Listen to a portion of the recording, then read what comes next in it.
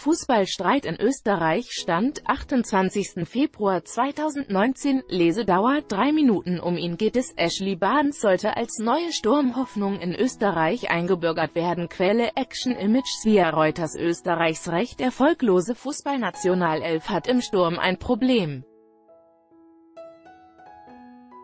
Auf der Suche nach einem Angreifer wurde der Verband in England fündig. Alles schien klar. Doch nun sperrt sich der rechtspopulistische Innenminister. Es ist ein bizarres Schauspiel, das sich da gerade in Österreich abspielt.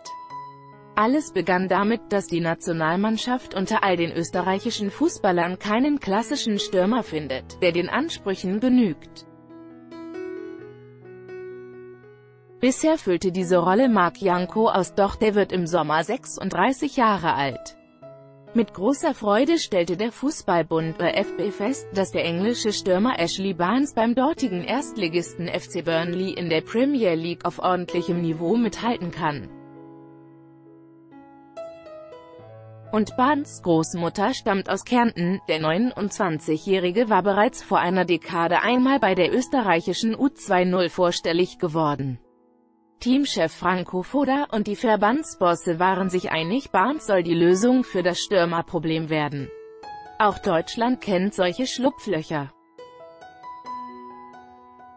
1998 bürgerte man den Brasilianer Paulo Rink ein, dessen Urgroßvater einst aus Heidelberg auswanderte. Den gleichen Weg ging man mit dem Südafrikaner Sean Dundee, der nach seiner Einbürgerung sogar noch bei der Bundeswehr den Wehrdienst ableistete. In Österreich schien alles nur noch Formsache.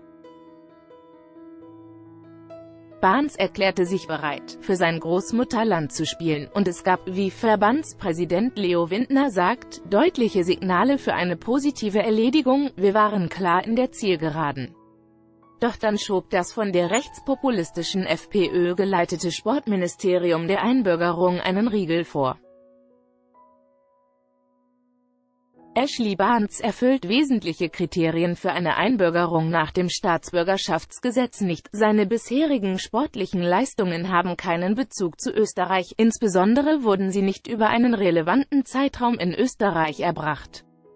Seine österreichischen Wurzeln spielen keine Rolle, verkündete Sektionschef Philipp Tratner und fügte hinzu, Staatsbürgerschaften sind keine Geschenke, und es gelten für alle die gleichen Spielregeln, ob herausragende Leistungen im besonderen Interesse der Republik in Wissenschaft, Kunst, Wirtschaft oder Fußball erbracht wurden. Das von Herbert Kickel L. hier mit Kanzler Kurz geleitete Innenministerium machte den Plan des ÖFB zunichte, den englischen Stürmer Ashley Barnes einzubürgern Quelle, Reuters Worte, die beim ÖFB Ernüchterung, Verwunderung und Ärger auslösten. Der Masterplan droht zu platzen. Das ist gegenüber dem Spieler Barnes menschlich peinlich, sagte Präsident Windner. Pikant, selbst innerhalb der FPÖ ist man sich nicht einig.